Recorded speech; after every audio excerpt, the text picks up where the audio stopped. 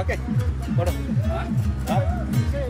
हो म त नपाएर यस्तो नि तपाईँ मेरो त मिल्दै मिलेन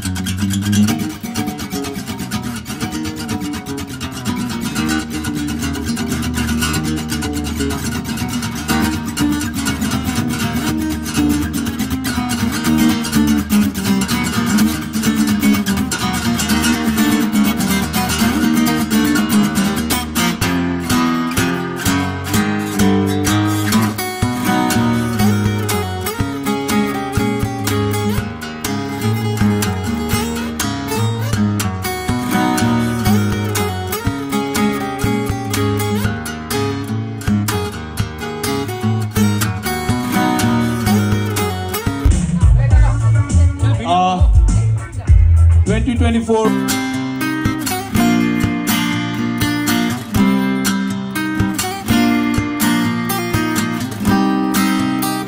Oh my god.